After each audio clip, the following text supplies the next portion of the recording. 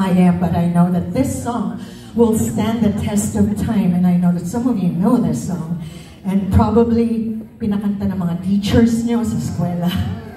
But uh, this is an original song, and I hope you remember it, and I hope you like it. Music, please.